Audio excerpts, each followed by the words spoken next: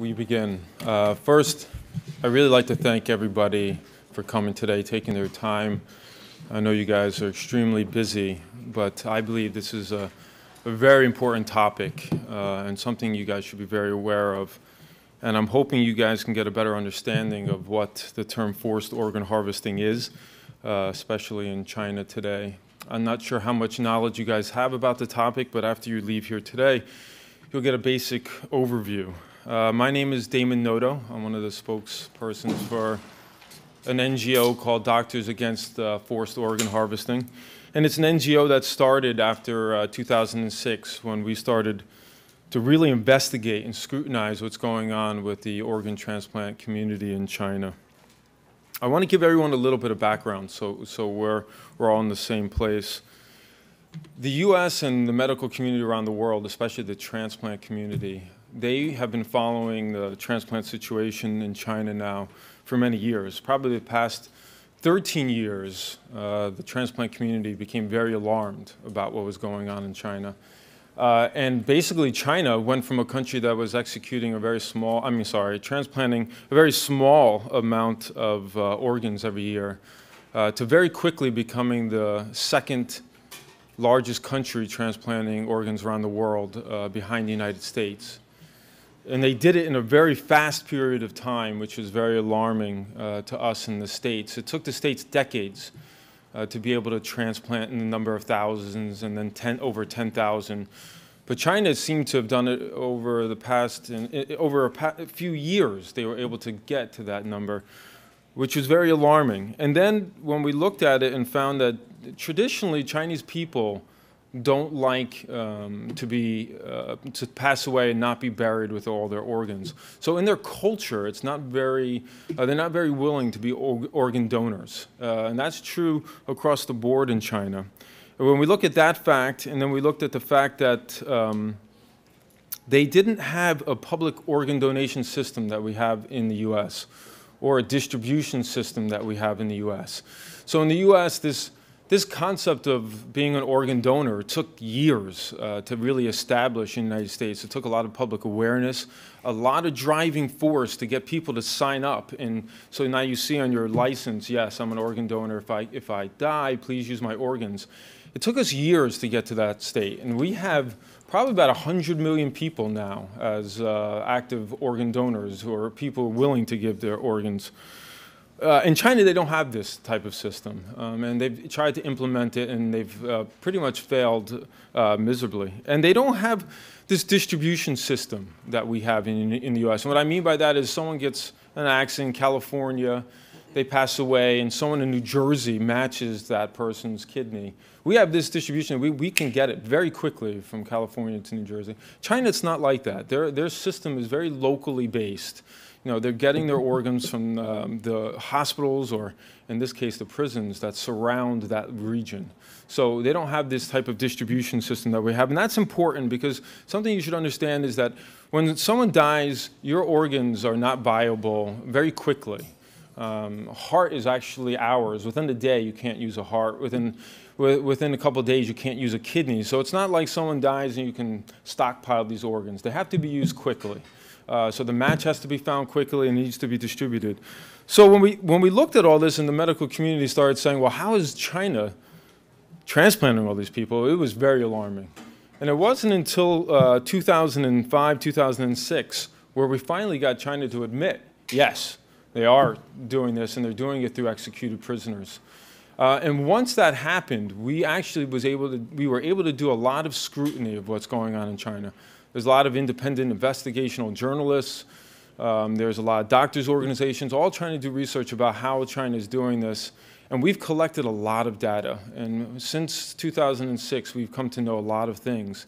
And we're no longer at the point where I believe we can say it's questionable. To me, it's, it's a fact. They're executing prisoners for their organs, and they're executing prisoners of conscience for their organs. And we'll go into that in the presentation. Um, and why I say that is, and why that's important, is because we're now at the stage where I believe action really needs to be taken.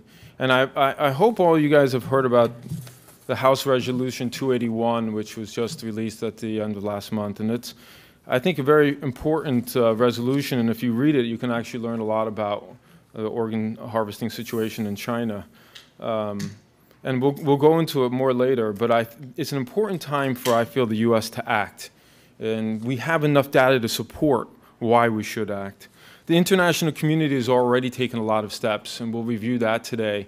There's a lot of countries actually doing a lot of things, and we haven't stepped forward as much as some other countries. Um, we're going to cover three main things today. We have three speakers. The first one is really going to give you a background about organ harvesting in China, some of the key data we have, key information. Our second speaker will go into why this group, Falun Gong, has, has become one of the worst victims of this uh, crime against humanity and why they're a particularly vulnerable group. And the third one, we'll talk about the international response so far, how forced organ harvesting in China affects us here in the United States, and what actions we may be able to do uh, to prevent it, um, what steps we can take. So our first speaker uh, announced today is Dr. Mei He, medical doctor, PhD. He's currently an ass assistant professor of pathology at Alpert Medical School of Brown University. He's also a staff pathologist and medical director of the hematology lab in the Women Infants Hospital in Providence, Rhode Island. He graduated from Shanghai Medical University in China. He did his pathology residency at University of Medical and Dentistry of New Jersey. He also did a PhD at UMDNJ. He continued his fellowship at Memorial Sloan Kettering in New York City, and he currently serves as a deputy director of Doctors Against Forced Organ Harvesting. So let's welcome Dr. Mei He. Thank you.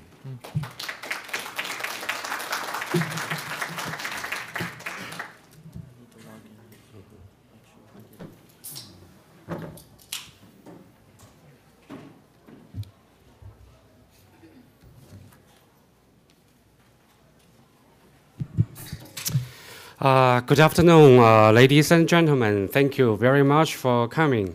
Uh, the title of my talk is uh, is uh, forced organ harvesting in China. Deranged uh, transplant medicine requires urgent actions. As said, more than according to China's own data, more than 10,000 cases per year was performed in China. Okay. And uh, I said this is the second largest in the world, only second to U.S. But uh, there are many major obstacles uh, to getting all the uh, organs uh, in China. I said like culture barriers and a very low rate of voluntary organ donations and no effective organ donation sharing system established yet in China.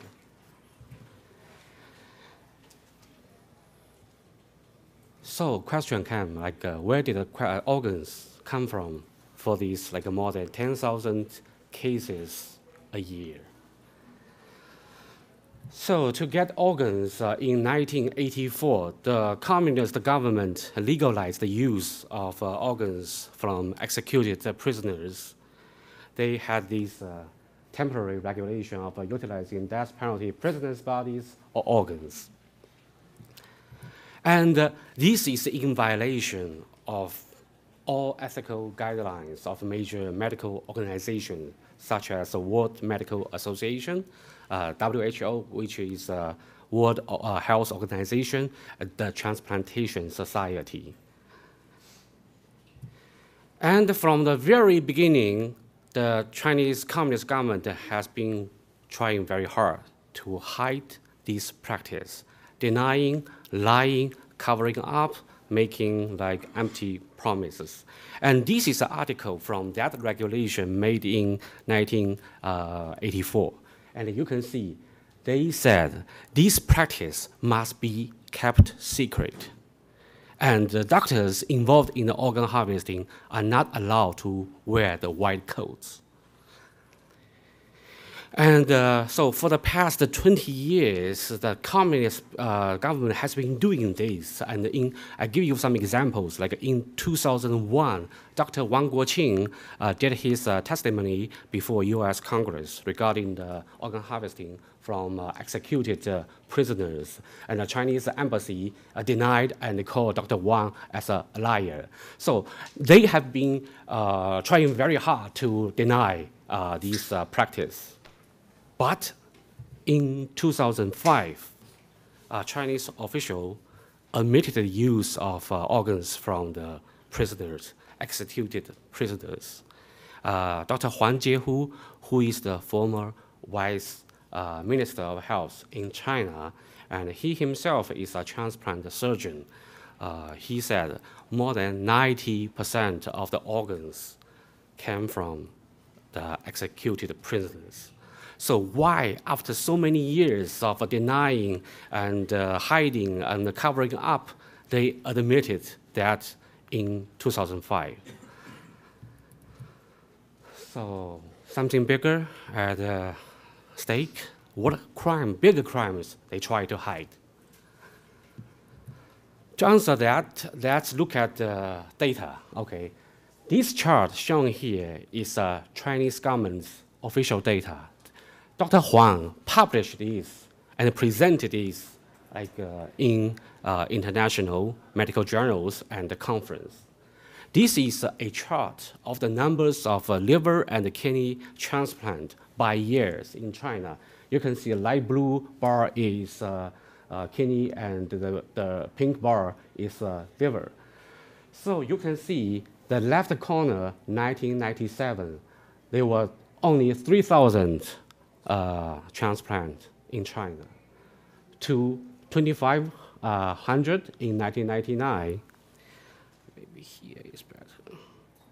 And then go to 2003, you have about 6,000. And then in 2004, you saw a big jump.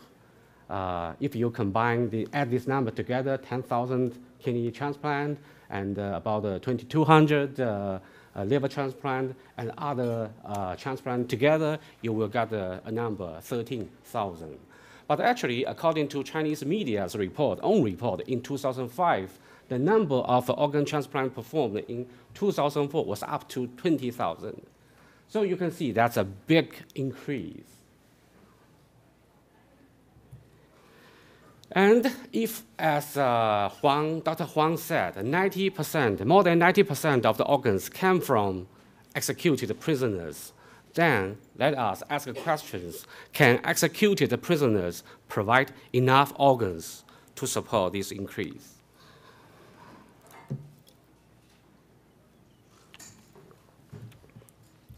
To answer that, we have to understand the um, organ transplant. The transplantation medicine is one of the most challenging and complex uh, areas uh, of medicine. It requires a lot of efforts, teamwork, sharing, communication, well-established uh, organ donation sharing system, and uh, all these.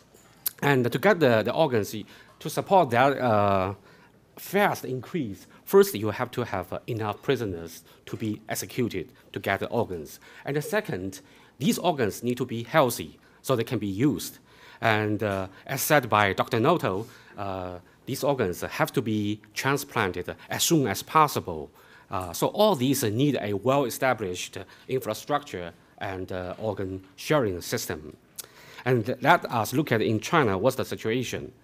So uh, while this uh, organ transplantation in China, the number increased fast, over the years, the number of executed prisoners remained quite persistent or even slowly going down.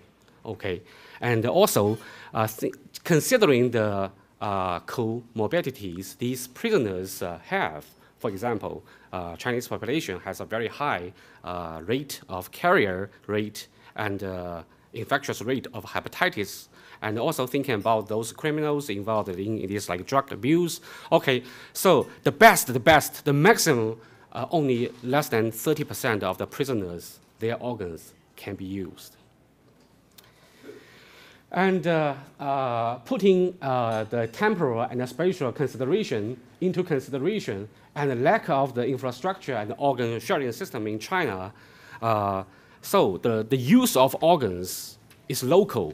Uh, what does this mean? It's like uh, the organs taken from local prisoners can usually only be used for local patients. China does not have a organ sharing system. And uh, in the most uh, ideal situation, from one prisoner, one liver, and two kidneys can be harvested, uh, harvested. Uh, but uh, because of the situation in China, uh, without this sharing system, actually, in most of cases, only one organ can be used. All the rest, so-called quote quote wasted. So uh, let's come back to this uh, uh,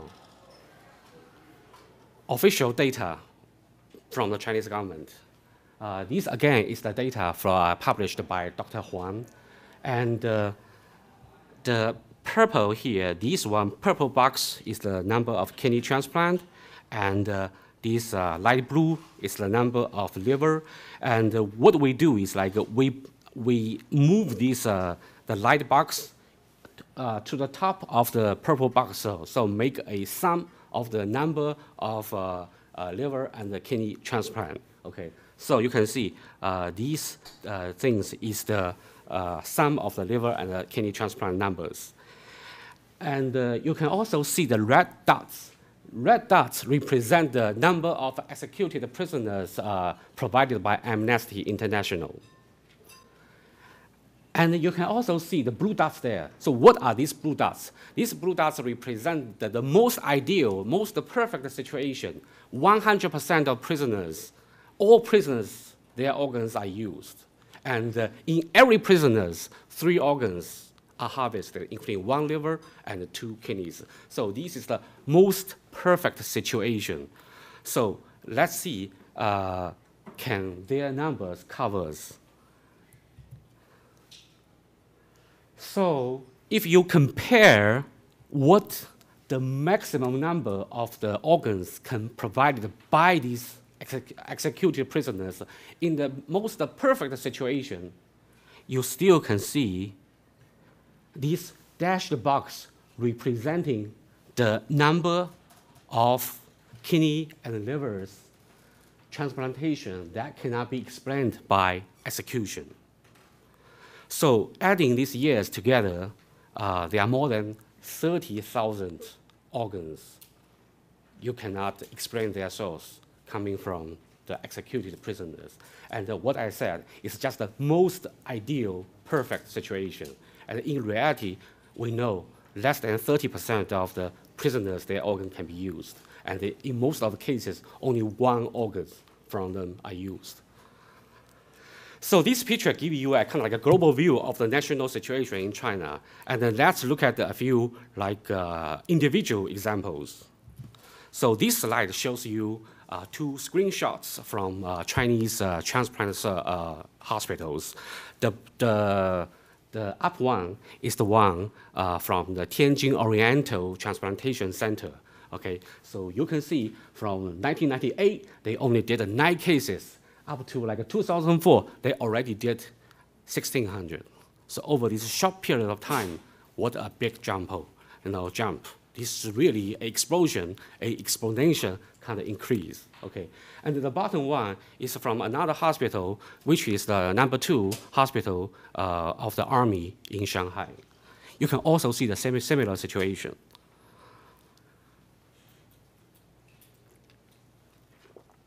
So numbers has a lot of information, but numbers is not the whole story. There are striking features associated with uh, the organ transplant in China.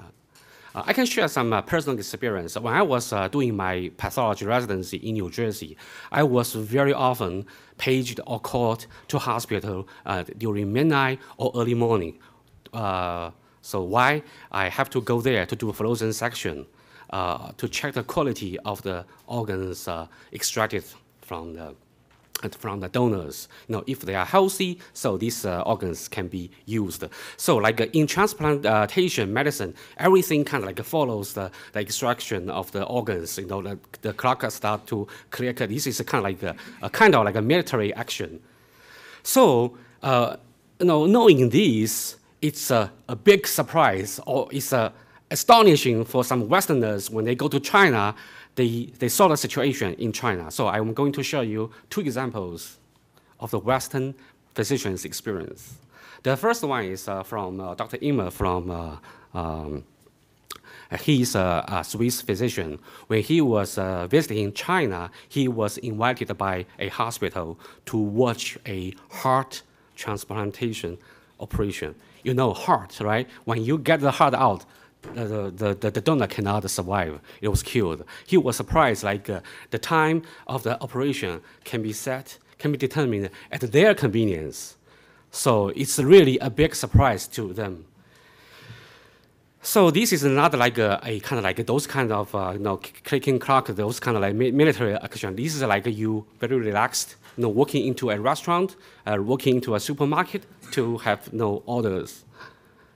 And the second one is from Israel, uh, from uh, Dr. Lavee. Uh, one of his patients told him, like, uh, you know, in two weeks uh, uh, he has a heart transplant scheduled in China. So this is also kind of like a very, very striking, astonishing to Dr. Lavee. And then I'm going to show you a case from China, according to China's own media report. Uh, that happened in Xinjiang, where the Uyghurs uh, are living.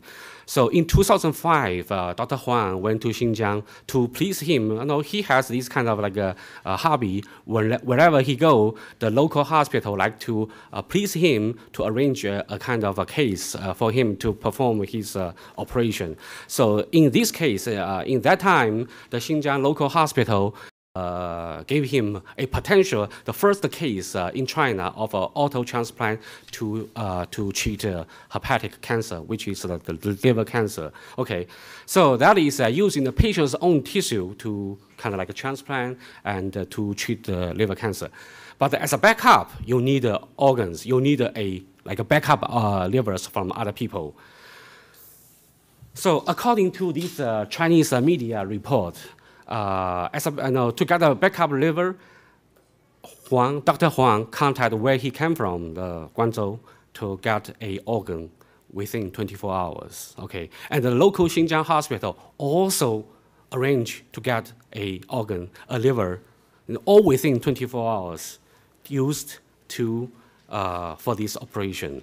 So yeah, by our thinking, like uh, if uh, in this country you need a like uh, to get these uh, two livers uh, within these 24 hours, you need to have a perfect like a legal car accident, and this the, the victim has to be like uh, sign a organ donation card, and uh, which in, in, China is almost zero.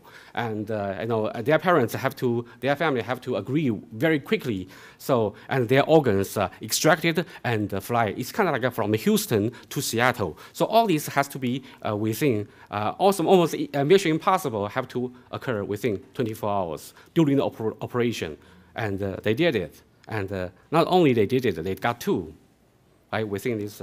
And uh, so to satisfy uh, Dr. Huang's hobby to perform this potentially number one case uh, in China, uh, two, two liver has to be, have to be extracted. So no one in that time can survive this uh, like uh, organ harvesting. So two people have to die.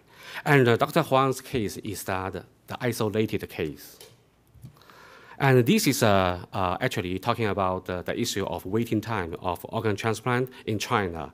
Uh, the average time there is from one week to four weeks. That is seven days to 28 days. By comparison, in this country, is the waiting time for organs is two to three years. That is 750 to 1,000 days.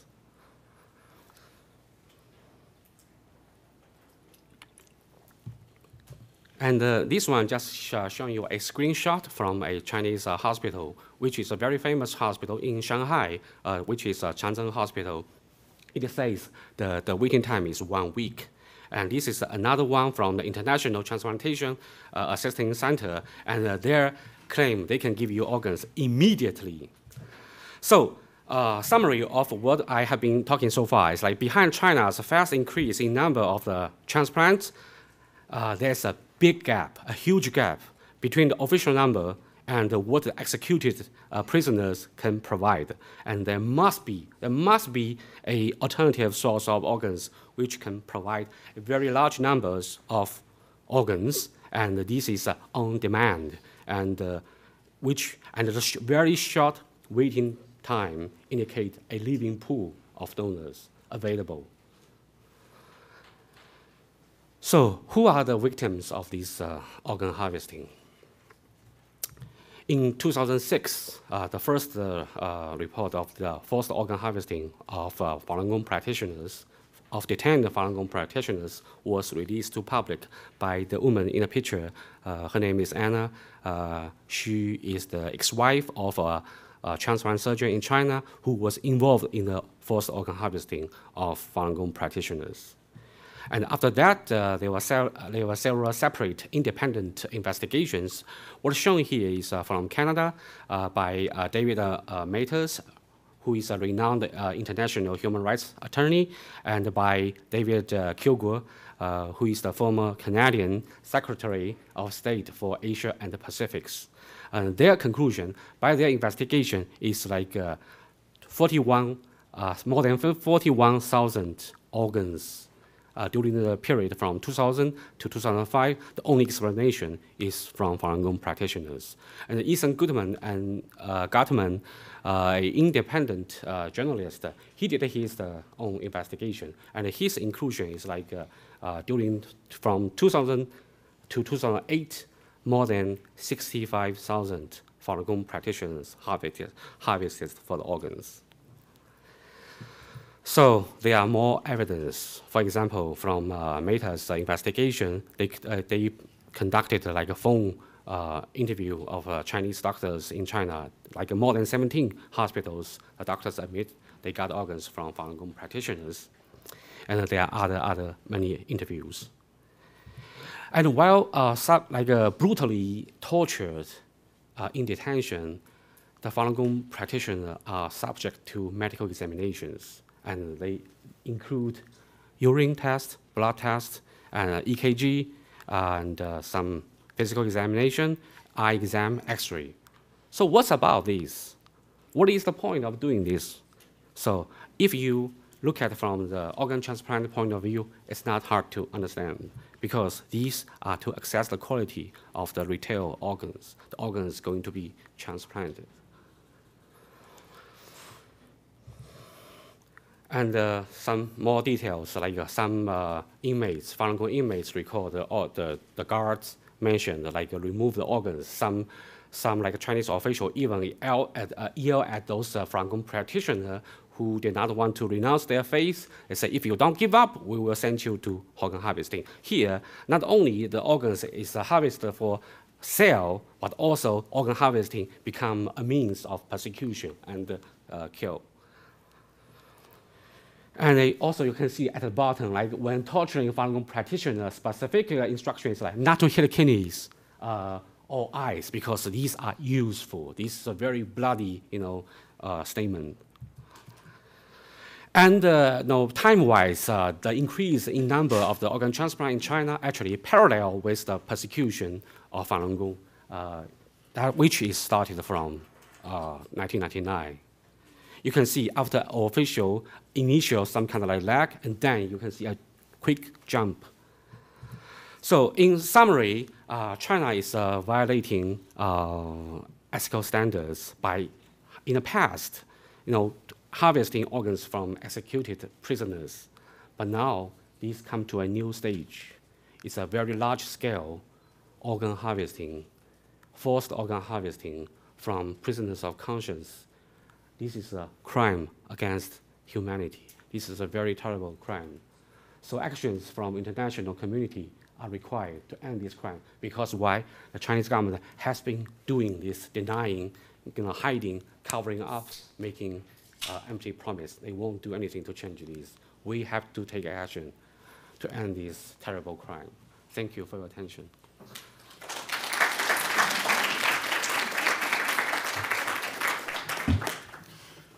I'd just like to drive home a couple points to make sure um, we're clear. The, the fact that um, transplant surgeons in the U.S.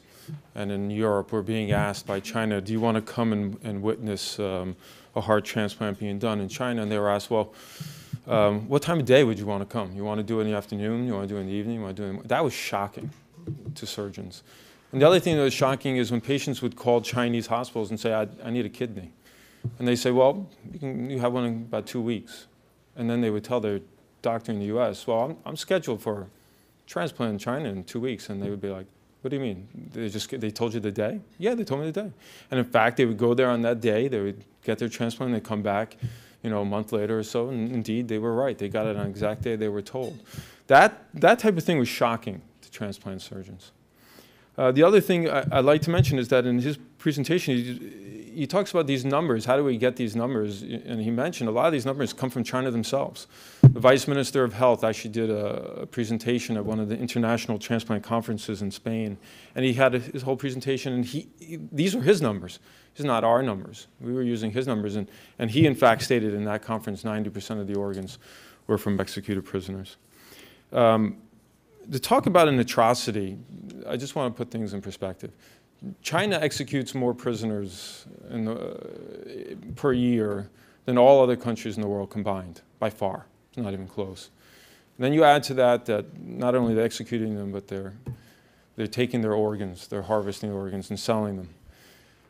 You add to that that these people were most likely not given the same type of trial with due process that we have in the Western standards of the US, where you actually have a lawyer and you have a court case, is completely different in China. So you have these people who are sentenced to death row without a fair trial, executed, organs taken. It's come to the point today, though, that when you add prisoners of conscience on that, that a lot of times didn't even have a trial. And now they have the ability to do what we call live organ harvesting, which means they can put them under an anesthesia like state keep them alive, harvest as many organs as possible, sell them, and then kill the person. I think this is an atrocity we haven't really even seen before. And this is why I think this is such an important topic. You know, uh, many people probably have heard in the news about uh, the guy who tried to, uh, Wang Lijun, who tried to, tried to uh, go to the U.S. embassy to get uh, uh, to, to escape China and, and, and, seek amnesty. This, this was a guy who was involved in thousands of organ transplants, and he helped design these new medications that they can use in China uh, to keep people alive while they're harvesting their organs. So, um, our, our, next speaker, Mr. Levi Browde, uh, is going to cover a very important topic about why Falun Gong practitioners, this group of people, have been uh, subject to one of the biggest victims. He's the executive director of the Falun Dafa Information Center, which is a nonprofit NGO that compiles firsthand accounts from inside China and issues reporting concerning the persecution of Falun Gong and its impact around the world. Falun Dafa Information Center was founded in 1999, shortly after the Chinese regime launched its persecution campaign against Falun Gong. It's been one of the primary sources for news and analysis on the crisis in China for the past 14 years. During this uh, time, Mr. Browde has been interviewed and quoted in the New York Times, Wall Street Journal, Associated Press, Time Magazine, AFP, and other media outlets. Uh, he's also presented at forums here at Capitol Hill. Currently, owns and operates a financial software company in, the, in New York where he lives with his wife and two children. Let's uh, welcome Mr. Levi Browde.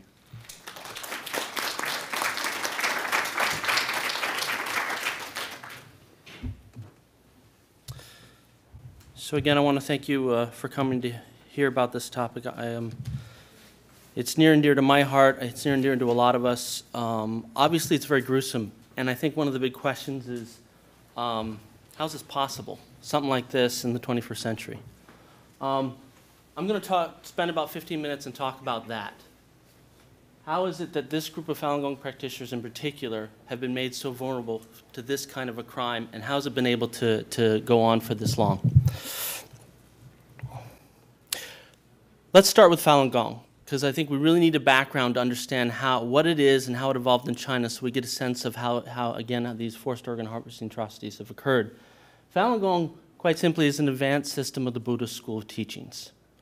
Um, Falun Gong teaches the principles of truthfulness, compassion, tolerance. Uh, people who practice Falun Gong takes these principles as a guide to their daily living, um, try and uh, adopt these principles into their character as they deal with people and they go through their days It involves a sitting meditation, slow motion exercises, uh, such as these. So, some characteristics about Falun Gong. Um, all the books and instruction are freely available online. You can download the books, you can learn the exercises there, and, and away you go. Um, people who practice, particularly in China, but especially around the, also around the world, across the socioeconomic spectrum. We're talking about very high-ranking military leaders in China, peasants across, you know, the, the land in China, housewives, business people, uh, they're from all walks of life. Um, Falun Gong is very much adopted into someone's regular life. If you're a soldier, you keep being a soldier. If you're a housewife, you keep being a housewife. If you're a business person, you keep being a business person. It's something you adopt into your life.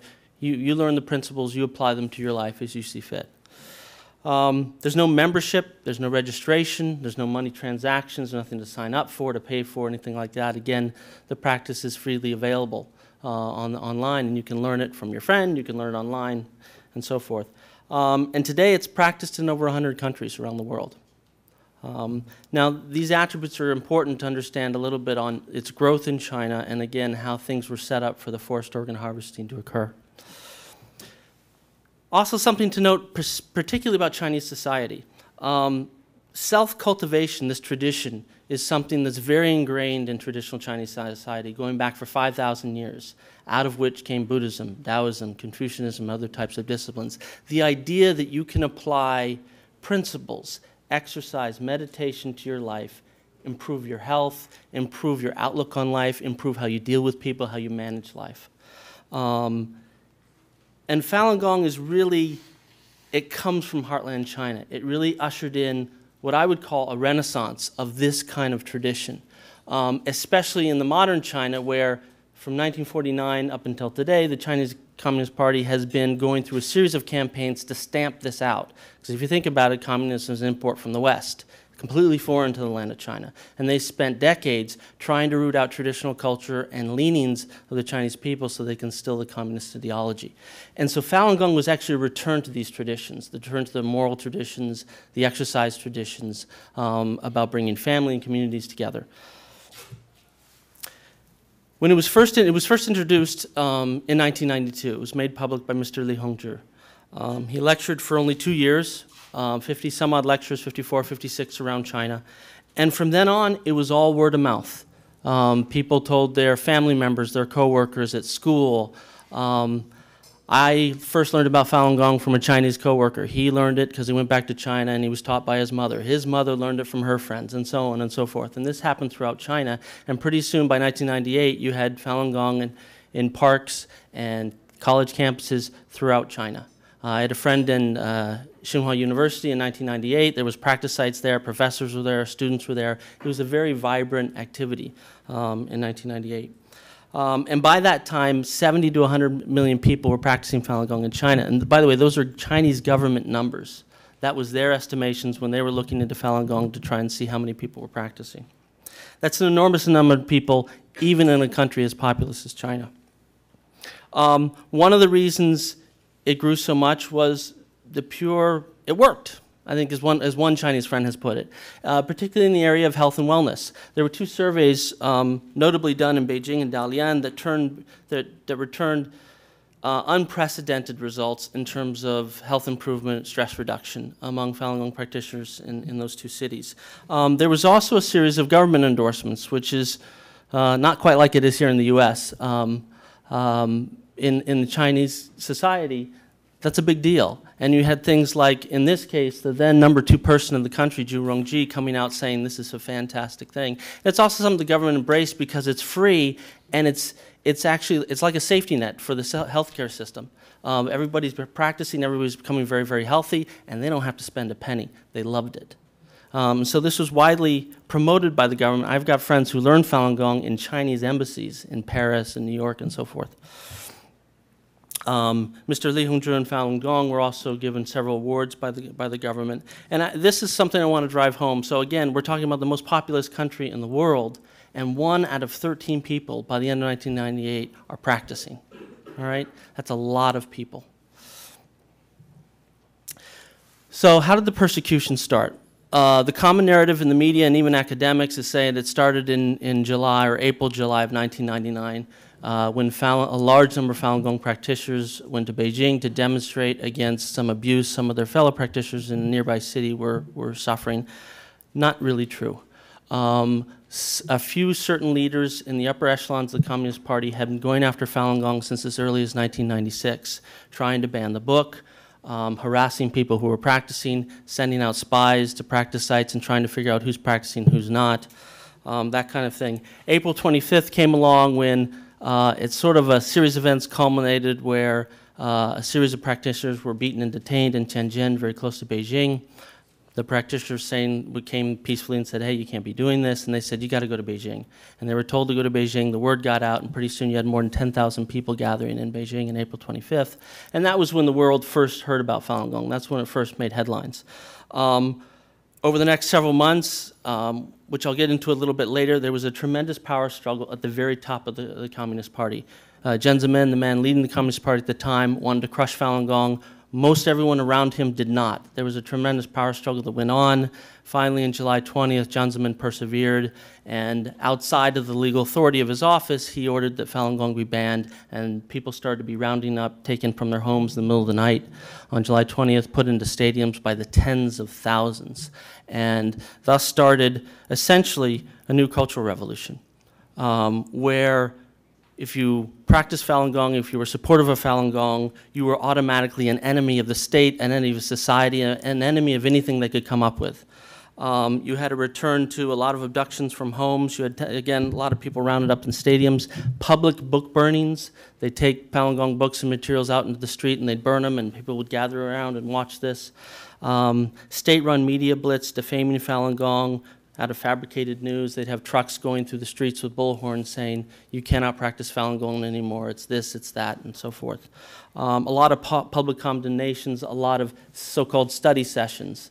Uh, where you have to come in, you have to write out what your thoughts are and turn that into an official, and if they don't like what you write, you're punished, you have to do it again, and so forth. Um, these are uh, Associated Press pictures of, of that time period, Falun Gong practitioner being uh, detained in Tiananmen Square, and some of the public book burnings I was talking about. It was a very systematic campaign. Uh, almost overnight, Falun Gong practitioners lost all rights, very similar to, to the lead up into World War II in Nazi Germany. You got uh, fired from your job, expelled from school. You could not get a hotel room. You couldn't rent a facility. Um, in many cases, your pensions were taken away, things of that nature. Uh, a lot of abductions, as we'd mentioned, a lot of Falun Gong practitioners being put into forced labor camps, prison camps, so some of the black jails, um, all without due process. Physical torture, psychiatric abuse started to become very, very rampant in the later part of, of 1999 and 2000. However, it was a real struggle because, again, you're talking about, as I mentioned before, and this is why I talked about it, Falun Gong was really deeply rooted in the hearts and the minds of a lot of Chinese people. It was a return to their traditions. It was more Chinese than anything they'd experienced in many, many decades. So this didn't just go over with the people overnight. Jiang Zemin himself had to take a tour through China, had to implement many things to finally get people to understand, the officials and particularly the rank and file, that if they do not carry out this persecution, their career and their livelihood is, is at stake. If they do, they will be promoted. It became the litmus test of whether you succeeded or did not in Chinese society. Uh, there was a groundbreaking article in 2001 by the Washington Post, mainly John Pomfret, who was the um, bureau chief there at that time, that identified a specific campaign, a three-pronged campaign of violence, brainwashing, and propaganda, um, interviewing some of the uh, Chinese officials that were going, going after Falun Gong at that time. And this is how they were going to do it. This is how they're going to stamp out Falun Gong and try and rid it of the, of the country. The violence was, there's a long, long list of torture methods that have been refined and actually uh, enhanced on the Falun Gong practitioners over the last 14 years. This is uh, a list of some of them. Brainwashing was very, very common, and it took many different forms, a lot of which, again, harken back to the Cultural Revolution uh, study sessions where you had to study uh, completely fabricated material about Falun Gong, that it's evil, that's this, that it's that. You had to get that into your head. You had to thought, write thought reports, and you do it again and again and again and again until they're satisfied that you no longer believe in Falun Gong and you're not going to practice anymore. Obviously, that's surrounded with the violence and the torture that's going on to you during the, during the day in the, in the prison camp.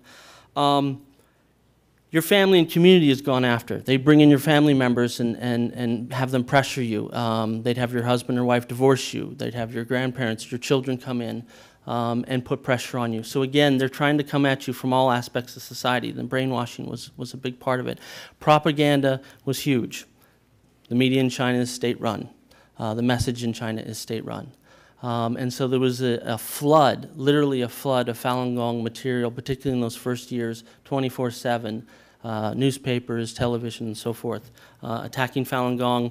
Um, in particular, some cases they would do stuff like there was a homicide in some city and some crazy person killed somebody.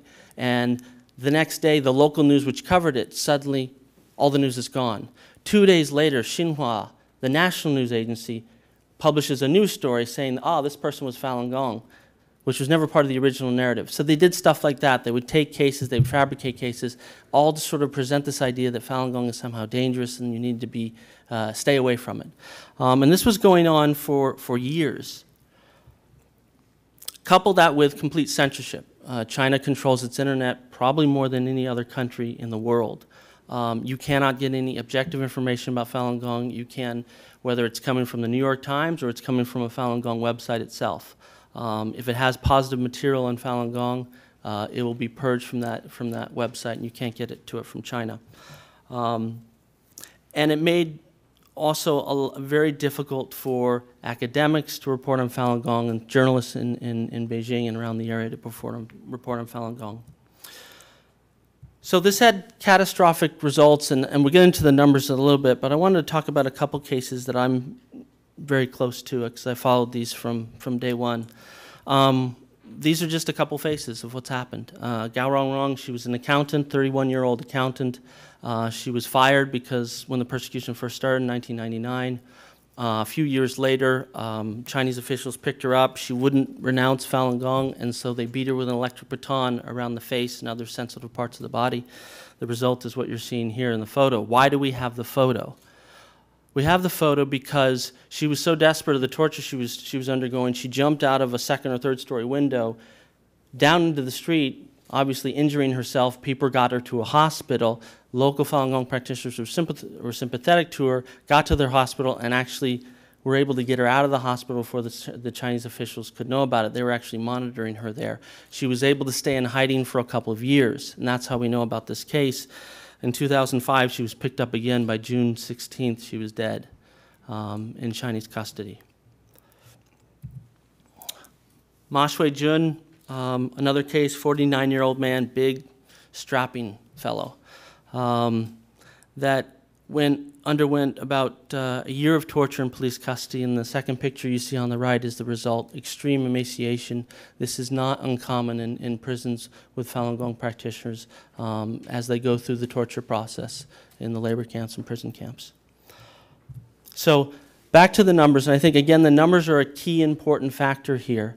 Um, these, these numbers are enormous. Um, 70 to 100 million people practicing in 1998. How many people now? Very difficult to tell. What we do know is there are 20 to 40 million people who are active in China, um, peacefully doing something to try and end the persecution, whether it's hand out leaflets to their neighbors or, or do these kinds of things.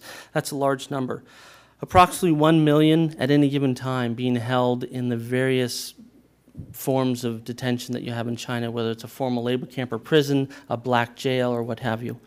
Um, over 100,000 tortures, reports of torture, over 3,000, 3,500 reports of death from torture. And again, these are just the cases that we know about. These are the cases where someone knew and cared enough to risk the danger of collecting this information and disseminating it outside of China. This is obviously just the tip of the iceberg. And then, as you heard from the previous presentation, uh, some of the estimates uh, on the number of Falun Gong practitioners that have died from organ harvesting are at 65,000. So, one other factor to take in mind, and, and that is the, the first point up there. A lot of Falun Gong practitioners, when they are picked up from police or they go to Tiananmen Square to demonstrate or they go to the local government office to protest this abuse they're facing, will not carry an identity card. They will not tell who they are, where they come from, why. Because if they find out their family's implicated, their company, their, fam- their, their coworkers are implicated, they don't want to do that. So you have a large number of Falun Gong practitioners in custody with no identity trail. That's also true because a lot of the Falun Gong practitioners may be coming from rural areas and they don't have identity cards necessarily, and no one knows who they are. So you've got a lot of people, uh, of the a million some odd people that are in detention, you've got a large section of those people who are completely unidentified where no one knows where they are. So if you put all these things together, and we'll start from the bottom, an enormous number of people in captivity, many of which no one knows where they are. They've been dehumanized over 14 years of, of, of propaganda that people who would not necessarily be torturers have no problem torturing. And you've seen this, I think, in genocides in recent you know, decades with whether it's Rwanda and so forth, that, that that component, the dehumanization of the victim, is key in order to have people do the kinds of atrocities we're talking about. So that's been going on for 14 years. You've got a, um, the state publicly saying we're going to eradicate Falun Gong. You've got people who have no, po no political rights, representation or what have you, and they're widely known for being healthy. These are people who've engaged in meditation, they don't smoke, they're sort of they're very known for a healthy lifestyle. It is the absolute perfect situation for to make a ton of money extracting organs and selling them, and they make a ton of money. This is millions and millions and millions of dollars made out of this situation. So, in many ways, it's a perfect storm. Um, I have a couple questions that often come up. I won't get into all of them here, but I just want to cover one because it comes up so often and I think it's important to cover it. A lot of people question why. Why go after Falun Gong given who they are? There's no economic benefit, apparently, outside of the organ harvesting. There's no social benefit from, from targeting a group of people, even in an oppressive regime like China. And I think you have to keep in mind a couple of factors. First of all, Falun Gong's popularity. There were more people practicing them than the members of the Communist Party itself. That alone is going to trigger some alarm bells in some leaders of the Communist Party who needs to control everything within the state. The second thing is the ideology that I've already talked about. You know, they spent 65 years trying to instill Marxist struggle atheism into Chinese people, which has 5,000 years of very traditional Buddhist and Taoist based beliefs. Um, these two, two, things are very antithetical to each other. It becomes more um, marked today where the Chinese Communist Party has done more to build and, and control the country through corruption. And then you got a whole group of people that are untouchable. They're not into corruption. They're into return to sort of the moral values of the past and being very traditional. So there's a class of ideology there. Um, and then this is perhaps one of the most tragic, tragic portions. One man, Jiang Zemin, who was the head of the Communist Party and the head of the military at the time the persecution started. Um, he was the first leader of, of Communist China who had no really uh, credentials from the revolution. He wasn't really respected. He came to power out of the, the chaos that ensued of, of Tiananmen Square. His whole mission after Deng Xiaoping died in the mid 1990s was to build up his own credibility, build up his power base, which he really didn't have much of. Along comes Falun Gong and completely steals his thunder. At the time when he's trying to get the entire country to worship him and respect him as the supreme leader, they're all talking about this great thing called Falun Gong and how it's wonderful and it's a return to the past. It became very personal for, for, for Jiang Zemin. Several investigators, including, I think the most notable one I know of is Willy Lam, who was a senior uh, correspondent with CNN at the time. I think he's with the Jamestown Foundation now. He, was, he got in, interviewed some of the senior um, Chinese leaders who said over and over again, this is very personal for Jiang Zemin. A lot of the Politburo, that tight group of seven, eight, nine people that run the country, did not want to do this. It was Zemin that wanted to do that because of these reasons. Um, and that's really why you have the situation with Falun Gong, and as we mentioned, the, the circumstances there, that's why we've had uh, the ability to this atrocity to occur. So let me leave it there, and if there's questions at the end, we can cover those.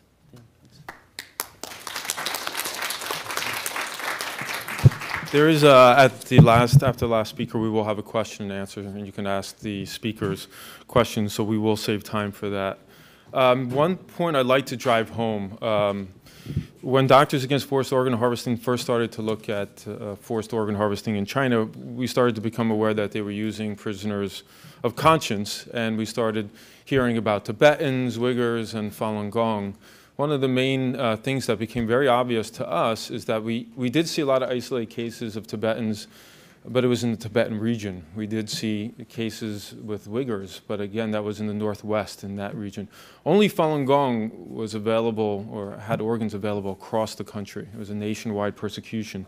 So it became very clear to us that that was one of the main sources uh, of prisoners of conscience. Our last speaker will talk about the international response its impact on the U.S., forced organ harvesting, and what we can do. is Dr. Jianchao Xu, MD, PhD. He's currently assistant professor at Mount Sinai School of Medicine in New York. Uh, before that, he was assistant professor at Yale Medical School. He received his MD from Hengyang Medical School in China, his PhD from Yale. He also completed his postdoc research as a and training as a kidney specialist. Professor Xu has published over 30 articles in the field of kidney disease in peer-reviewed journals across the country. He also serves as the, one of the board of directors for Doctors Against Forced Organ Harvesting. Let's, let's welcome Dr. Xu.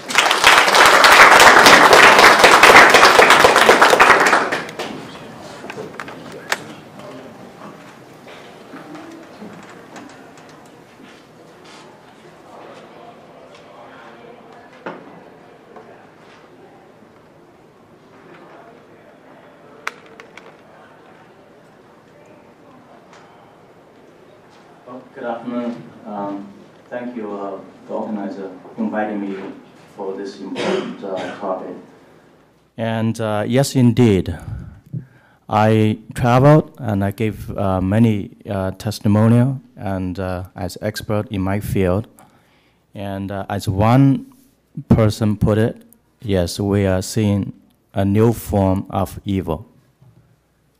My topic today is to is going to focus on what has been do, has been done in response to this exposure of atrocity um, in many different countries, different organizations, and prof- professional societies.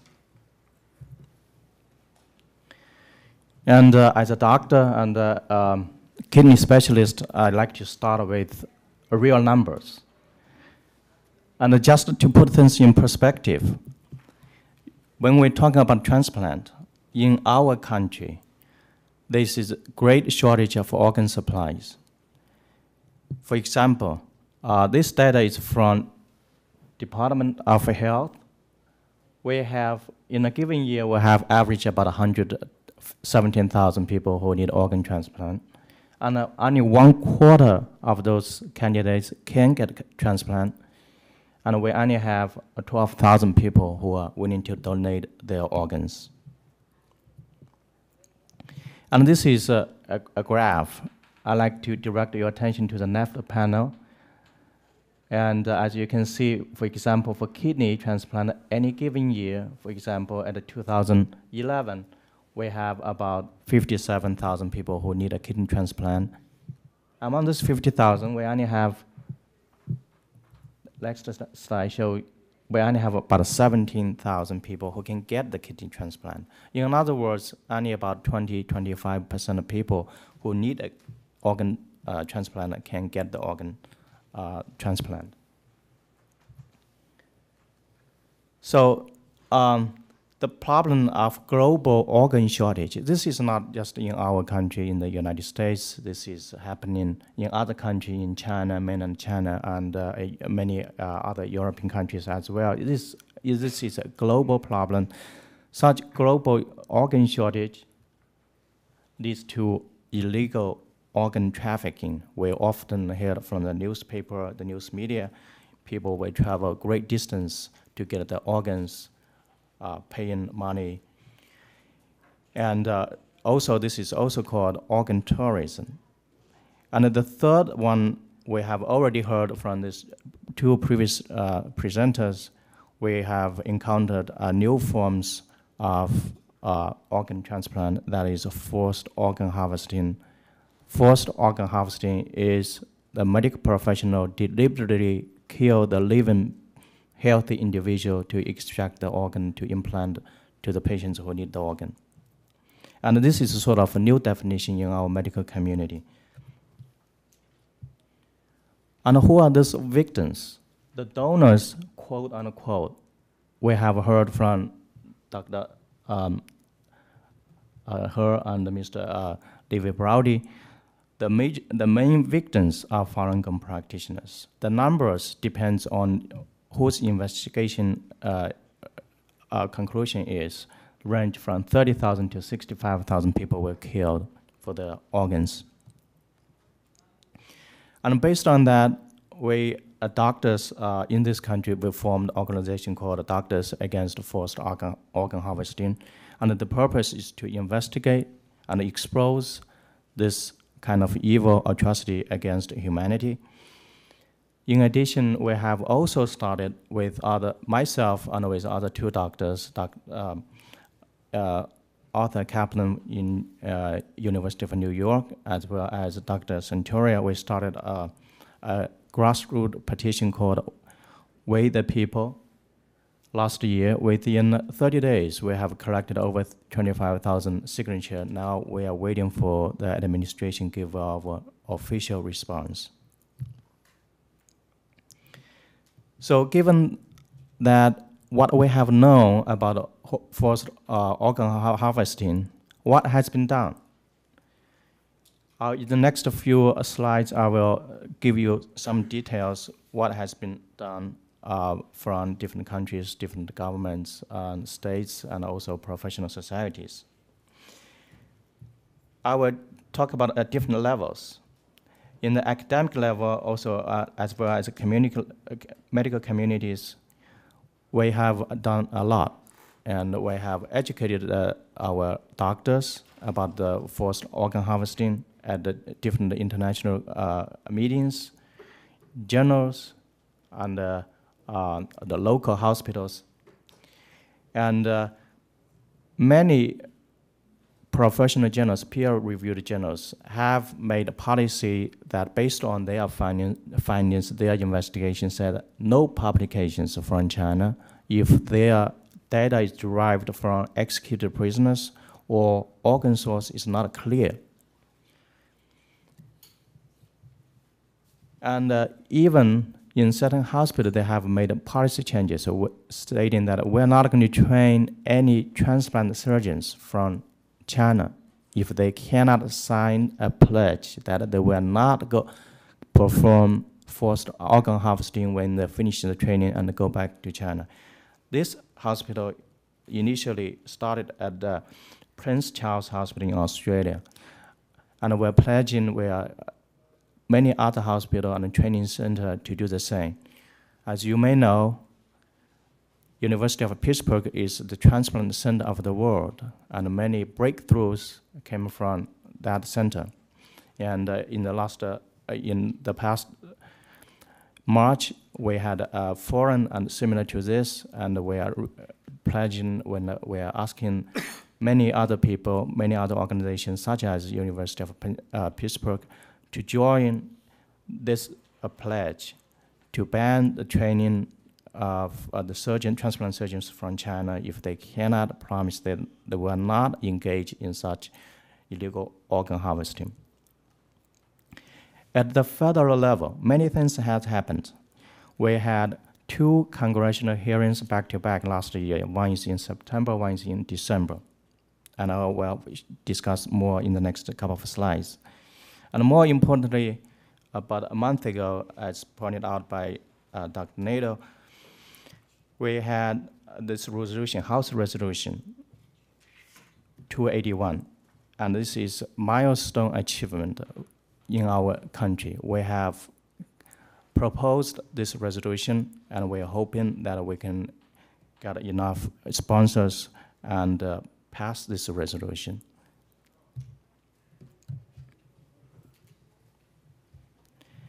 And uh, as I mentioned, in many ac academic journals and professional society, they have already taken steps in reaction to this forced organ harvesting. Just to give you an example, uh, in 2010, there was a World Transplant Congress meeting there were over 30 abstracts was rejected from China because of the data is derived from uh, executed prisoners.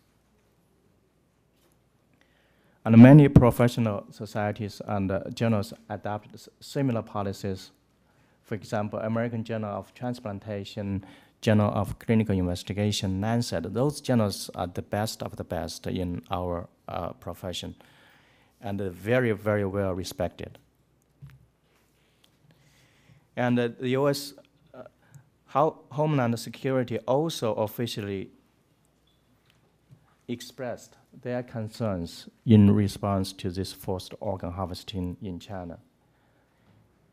And uh, now they made a new change. When the new applicants, foreigners, come to this country, they need to sign a visa application form called a DS-160. In that form, a new questionnaire was added. Here, in, have, here circled in this uh, red circle. The new question reads, have you ever been directly involved in coerced transplantation of human organs or bodily tissues? That clearly sends a clear message to the people who are engaged in organ harvesting. Tell them we are watching you. And I, there are two congressional hearings in the Capitol Hill last year, back to back. One is September, and one is in December. I was invited as a uh, witness to testify in front of the Congress. And the second uh, congressional hearing, the title was Falun Gong in China Review and Update. It was sponsored by Congre Congressional Executive Commission on China, and the chairman was Christopher Smith, congressman from New Jersey. And uh, Mr. Smith has pledged that in response to this forced organ harvesting, and also in response to other international community resp res reaction response to the forced organ harvesting. I think we lost little sound. I guess I need to speak louder.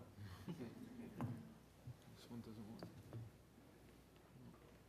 Did the plug come? Just use this one, maybe. Okay. I can use that. Sorry.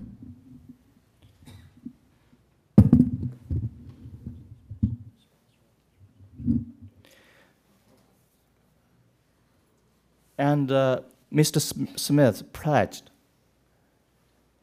to prohibit patients going abroad to receive illegal organ transplantation, to limit health care insurance coverage for those who receive organs from unclear so, uh, sources. And in addition, similar to Jacob's law, persons involved in forced organ harvesting will be banned entry to the United States. Those are great proposals. That's going to be very effective to put a stop, at least slow down the pro- prosecution and also for the operation of forced organ harvesting in China. Now let's talk about what other countries have done. I'd like to start with Israel. And in response to this exposure, the investigation of forced organ harvesting, they have taken concrete measures. In 2008, they passed a law. The law says anybody, Israeli citizens who are engaged in buying, selling, or in a brokerage of organs, whether you are within Israel border or overseas, is illegal. And also the mandate, the insurance will not cover the medical expenses for patients who receive uh, such organ transplantation. The results is phenomenal. The transplant tourist decreased from 155 to 26 cases shortly after the law was implement, uh, implemented, implemented. And uh, not only their policies not only to cut the uh, to stop the illegal organ harvesting, but in the meantime, in parallel, they adapted policies to increase the organ donations. As a result, their domestic organ donations increased 68%. So the net results actually they promote organ donations and benefit Israeli citizens. In Malaysia, the new laws also were adapted. Back in 2007, they have an Anti-Trafficking in Person Act. And later on, they amended this act because taking organs or tissues from a, a person without consent was considered part of trafficking. In addition, in 2012, um, starting 2012, January 1st, they have mandated for any person who received organ overseas illegally, the government will not cover their anti-rejection medication. That put a stop in many patients who are contemplating to go overseas to, illegal, to receive or, illegal organ transplant. In Europe, there are many, they, the, recently they had a hearings in EU Parliament this past January. They discussed those issues, many um, stating that they're gravely concerned about, about this forced organ harvesting in China. In Australia, serious legislation drafts was proposed, and a law was passed this spring, which makes it illegal to use organs from executed prisoners. In addition, most importantly, the new bill introduced by Mr. Shoebridge and make categorically organ tourism illegal. In Belgium, in 2000, this year, they had human tissue amendments. They make it very clear in response to this forced organ harvesting in China, stating that anyone who receive organ, buy, purchase organ, or acting as a middleman to make a profit for organ transplantation is illegal. Similar things was discussed and um, they're contemplating similar um, policy changes in UK. In Spain, they passed a law in 2010 they specifically stating that it's illegal to travel to China to receive organ transplant. They're very specific on China's issues, very specific on the forced organ harvesting in China. They're even stating that it's illegal to even advertise to go to China to receive organ transplant. In Taiwan, there are many changes uh, happening as we're speaking. Last, the end of last year, they passed a new law requiring that Taiwan citizens who received organ transplant must report to Department of Health within three months. And uh, as early as this past February, they had a week-long international conference just on the topics of forced organ harvesting and ethics of organ transplantation. All of us invited a speaker. That speaks that Taiwanese government, medical professional, they are very much concerned about what is going on in China. And we are looking forward to for uh, new policy changes, legislative changes. So having give you some uh, brief snapshots of uh, what is uh, uh what other countries states have done in response to forced organ harvesting. What can we do, the United States of America? Well, people may have questions stating that what's the relevance to our country, to, our, to US citizens? But I can tell you, as a, a medical doctor, as a kidney specialist, I take care of patients who get a kidney transplant. And I can assure you that many, many US citizens who need kidney transplant, they will travel to China. They have traveled to China and came back. And we need to look, take care of, take care of those patients. And the expenses to take care of patients often is much, much more than patients who get kidney transplant in this country. So it is re relevant to us. And in addition,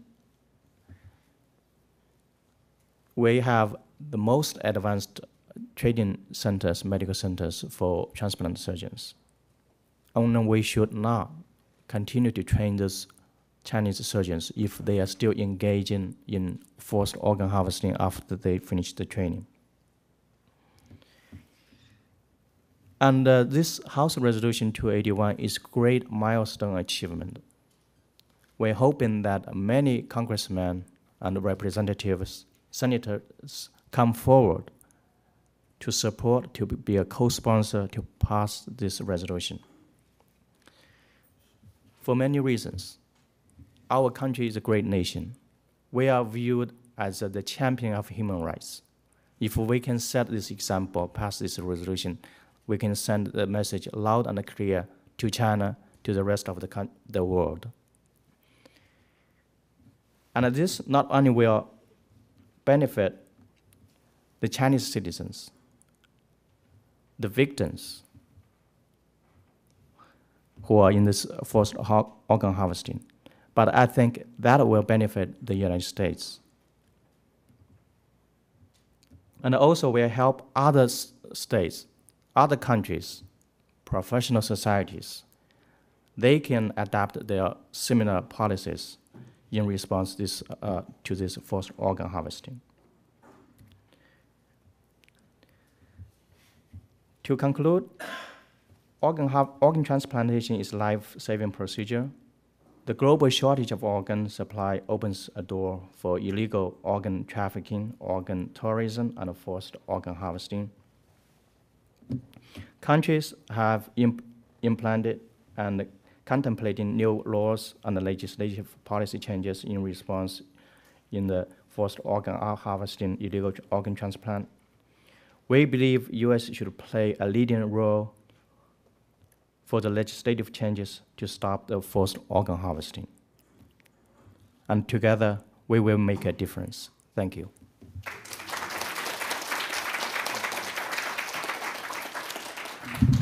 So I'd, I'd just like to drive home this last couple points. One is i- it impact in the U.S. It definitely impact us. We do have patients continue to travel to China for organs. We do continue to train probably the largest number of transplant surgeons uh, for China. We continue to be a major training ground for them. And we have no uh, laws or regulations that um, inhibit our pharmaceutical companies, our medical device companies from doing any clinical trials in China on any type of organ transplant um, surgeries. So it's, it's, it's quite attractive to them because they can do very large numbers very quickly. Currently, we have no regulations on them whatsoever. The question does, um, does these, do these things, resolutions, does it, uh, do they make a difference? I often get asked that. And I say absolutely yes. You know, I, I've lectured around the world, and almost always the first question I get from whatever country I go to is, what is the U.S. doing? Tell me, what's the U.S. doing? Before, before we do it, what, what is the U.S. doing? Everybody wants to know what, what, what's Congress doing, what's the Senate doing. When, when Congress and Senate moves, it makes it easier for other countries to move. It makes it easier for the medical organizations to move. Everybody asks me about the AMA, the World Medical Association, International Transplant uh, Society. These societies want to know what Congress thinks. They want to know what, what, what American uh, Congress and the government is doing. It makes it easier for them to have a firm footing to pass uh, regulations and actually put pressure on China. Uh, this resolution by the House 281, which was introduced by Ros-Lehtinen and Mr. uh, Andrews, bipartisan, to me, I think this resolution saves lives. I think it makes a real impact. I think it puts pressure on China. It makes it more difficult for them to hide things. It really makes them, it forces them to try and comply with what the rest of the world is doing. They do care. They do care about what the US thinks. They do care about public opinion. And their doctors, when they go to these conferences, they do care how they're perceived. Trust me, it, it does, it has an impact. I- I, hope we can take a few minutes to, if you guys have questions, we have these uh, panelists here. We have uh, the availability, you can ask any, any question um, and direct it and, and see if we can get your um, questions answered. So why don't, why don't we start first, gentlemen in, in the back? I still don't understand the fundamental question which was brought up earlier when uh, said why. Uh, uh, Why is this such a threat to traditional um, government? Is it seen as potentially a military threat? Why would they take on it? What is seen, I'm just. What is Falun Gong? Because I understand how it leads into this. Why is it seen to be such a serious threat to the government to the degree that they would want to torture? Um, I think the, the first thing is to understand is it's not, and the Chinese government knows that, and they knew that when they started the persecution. The persecution was not out to crush a threat per se. It was to advance, it was mainly, let's start with Jiang Zemin. It was mainly about um, what I talked about, where he's trying to build up his own um, legacy. And Falun Gong, I guess you could call it a threat in that regard because it was stealing his thunder. And that was a real big thing. And I think that's hard for us to wrap our minds around in the West. How could one man take 8% of a population of a country and say, you're illegal, you're not a real person, we're going to we're going to do whatever we want to you. How could that be possible? It's tough to sort of get my mind around that, having been raised in a civil society. But after 14 years of kind of studying the history of the Chinese Communist Party, you know, the thing with, and, and that brings me to the second part of my answer is you have to look at the answer not in Falun Gong, but you have to look at it in the Communist Party. The Communist Party came to power not because they're economic wizards, not because they're technological wizards, understanding international trade, how to lift people out of poverty. They came to power because they understand political campaigns. That's what they understand. They understand how to manipulate people's thinking and control people through terror. And with one of the first things they came to after they came to power in 1949, they right they started killing off all the landowners, all the capitalists. That was the first campaign. Then was the Great Leap Forward. Conservative estimates put that at 20 to 30 million people dying. Cultural Revolution, another what, seven, eight million people. So there's been cycles every five or ten years where they go after one segment of society, and one of the primary purposes of doing that is to scare everyone else. That says if you get out of line, if you ever challenge our power, this is going to happen to you. They did it with the capitalists, the landowners, the academics, the intellectuals. They did it with the students in Tiananmen Square. Falun Gong was the latest chapter. So I think um, it is a complex topic, and so I don't want to belittle it by, by giving you too short of an answer, but um, not that I'm doing that. But I think that the key, the key answer to looking to, an- to if you're going to answer why, you got to look more at the CCP. You got to look at the Chinese Communist Party, and not so much at Falun Gong. Could have been someone else. Could have been another group that happened to be 70 million people strong. Um, it was just Falun Gong was the was the next one in line. Yeah. I, I know everybody's busy, if you have to leave, please, we have extra copies of the House Resolution 281. Please pick up a copy before you leave. Any other questions that were unclear during the presentations that you'd like to ask, or have the presenter make it a little bit more clear? Um, The, you referred to House Resolution 31. Does it um, refer to its symbolic impact? Does it have a um, practical impact? Or is it just about the symbolism? Practical impact on us in the U.S., or practical impact in general on stopping organ harvesting? Yeah, and preventing these activities in China. Well, I- I don't know if many people are aware, but China had recently uh, announced that um, they're going to do a lot of promotion uh, for their medical tourism, medical transplant, and, and I believe I have, uh, it's coming up later this year. They're going to have a big conference in Shanghai promoting their medical tourism and what they can do. Um, it impacts directly that. It impacts when we let people aware, we restrict people to be able to go and use this form uh, to get organs. I think it has a direct impact on saving people's lives. If, if you're asking me, uh, can it save lives directly and, and even people in the, uh, can it affect people in the US? I think it has a direct impact in that if people are aware of what's going on in China, and there's actual regulations, laws that restrict people from going to China for forced organ harvesting, which this resolution might be very helpful in coming about, uh, I think it does have a direct impact. Yeah. One thing I think we've seen uh, with other resolutions and other things like it inside China is that it has an immediate impact on would-be persecutors uh, in, in the rank and file inside China. When they learn that the Congress is condemning the campaign that they're part of, that has a very tangible impact in the warden or the, the police in a prison camp or a detention de- detention camp around China. So I think um, that document and the fact that Congress has acted and made that kind of public statement does have a very concrete impact inside of China, independent of what's happening in the U.S. and internationally. And uh, to be more clear about providing ammunition for medical organizations, you know, the World Medical Organization in 2006, I believe, they said to China, you know what, if you want to be part of the World Medical Organization, you need to promise that you're going to stop executing prisoners for their organs. And a year or two later, yes, they said, you know what, we promise we'll stop. But even until this past year, their own Vice Minister of Health said, no, we're still doing it. Hopefully, we'll phase it out in five years. And the reason I mention that is we need to give these organizations like the World Medical Organization ammunition to say, you know what, you, you said you would stop, you really have to stop. We're going to not let you be a member of the World Medical Organization. We're going to put pressure onto you until you stop. But if the U.S. government's not supporting it, they don't get strong support. I, I, it weakens their stance. Because and, and I've met with people from the AMA and the World Medical Association, and they they do feel like sometimes their hands are tied. But I think we would untie their hands a lot if the U.S. Congress and the Senate were strong on this point.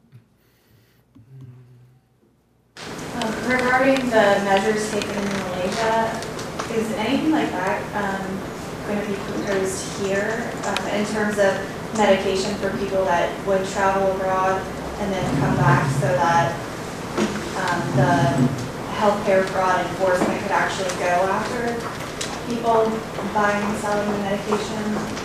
We're hoping this is the case. This is a very practical approach to stop uh, among many uh, forms of uh, uh, means.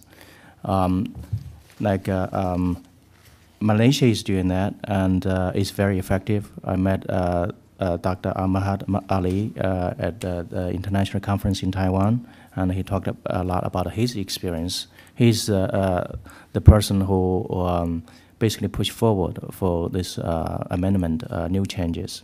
It's very effective, and um, we are hoping that um, we can do similar things in this country um, for not only for to uh, stop the forced organ harvesting what's going on in China, also for our economic reasons. Because when those patients come back, it adds a big economic burden for the uh, healthcare insurance companies. They cost a lot more to take care of those patients because often they have more complications after surgery. And um, more uh, uh, complicated is that nowadays, when they do this kind of surgery, because of the exposure of this forced organ harvesting, since become more difficult. It used to be when patients come come back to home, they have a stack of paperwork stating that where the organs from and uh, how the uh, operation went. Now, when they come back uh, to their home uh, country, they have nothing. They have no names, how the organ, where the organ is from, what's the health status of the donor, and it makes it very difficult to track. Therefore, it's very difficult to treat if there uh, complications uh, arises. I said before, we're, we're behind other countries. You know, we don't even have in the States a regulation where if patients want to travel abroad to get organs, uh, they don't need to tell anybody. We, it's very hard for us to track these, uh, these numbers. We don't have any regulations or anything that's, uh, you know, regulating this from happening. So we, we need to take some even beginning steps to try and help uh, stop this. Uh. Further questions? Yes. Also in terms of awareness, of course, things like this help, but it shocks me that I wasn't even aware of this until this week, to be honest. Uh, You know, so I guess what can we do in terms of just creating awareness of this in the first place? Yeah, we, we've been shocked too because we've been working very hard to get this information out and trying to reach a lot of media.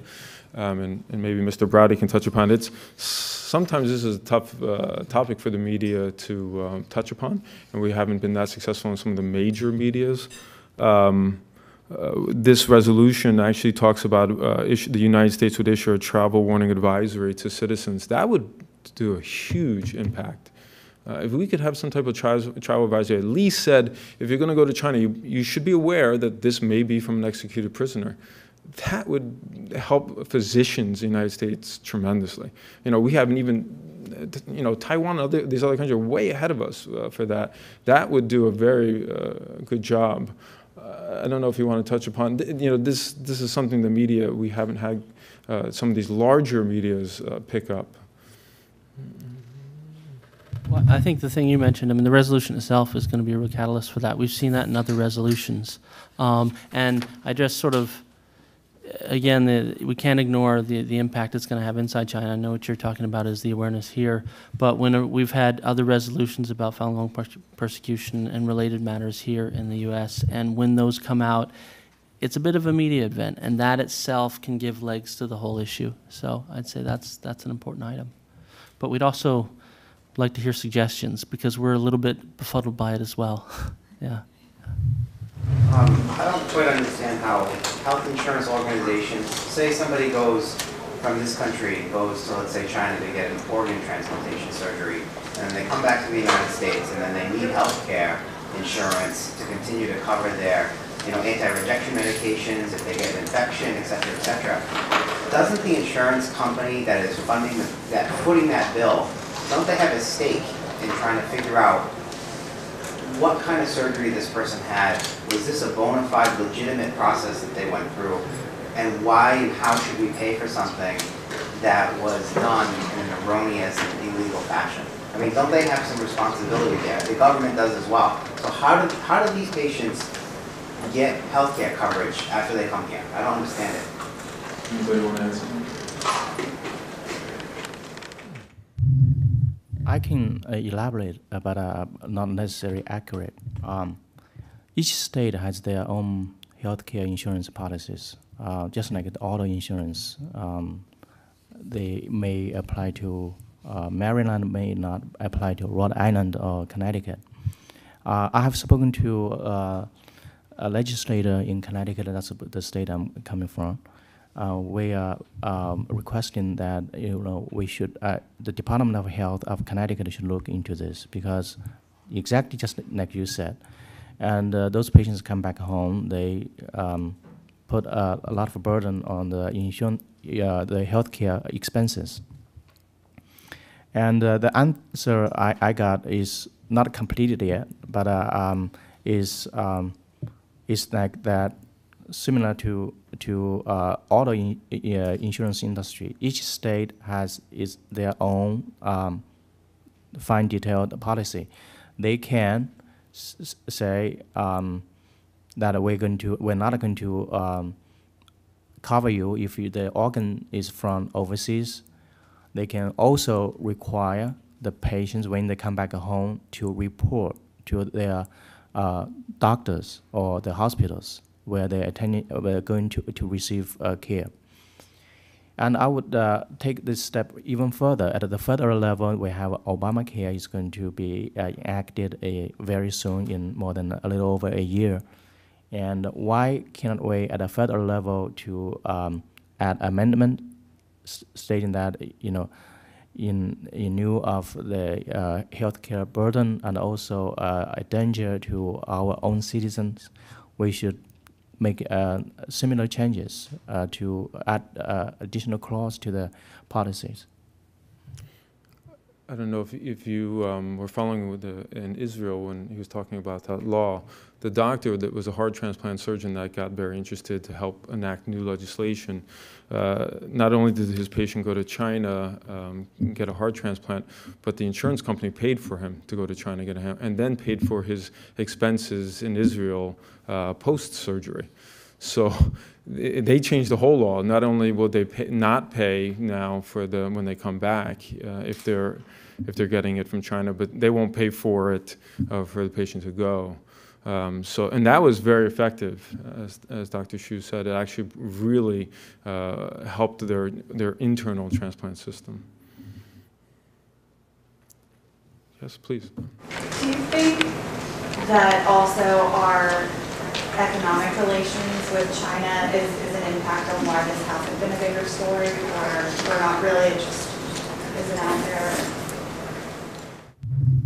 Absolutely. Um, and I think what's a little bit of a shocker is it occurs at every level of the government. We've had cases where a small town mayor is going to hold a parade or give a proclamation to the local group of Falun Gong practitioners, and he gets a call from the region's uh, Chinese consulate general saying, "Don't do this, or there'll be repercussions on your country." So, I mean, it's we've had it all the way down at the mayor level. We have uh, examples of, of stuff being sent out to our representatives here, both on the House and the Senate side. Um, I don't know if you guys saw the news. I mean, they, they do this at the very highest level. One of the first things that um, uh, did after he initiated the persecution and he saw President, then President Clinton at the APEC meeting in 1999 was hand him a book defaming Falun Gong. One of the first things that envoys from the Chinese consulate did uh, to meet the Condoleezza Rice when Bush was first in office, they had a meeting was to have a couple of people come in and all they were doing is talking about Falun Gong. She finally had to kick him out of the office saying, what do you guys, we're here to conduct some business on other things. So it happens at every level of the government and it's a major problem. Yeah. Further questions? Sorry, uh, I was late. I don't know if this was talked about, but uh, I work on the Senate side. Is there an effort to get a, a companion resolution? We would love that. uh, we spend a lot of time in the House. I don't know if Larry would want to answer that. Any work being done currently on the Senate side? Yeah, we hope this bill can be passed in the House first, then we'll try to bring it into the Senate. Okay. Further uh, or final questions? Okay, in that case, we really want to thank you for coming. Important, very important topic, and we really hope any any support you can give. If you can grab a copy of the House Resolution 281 on your way out, that would be great. Thank you, everyone.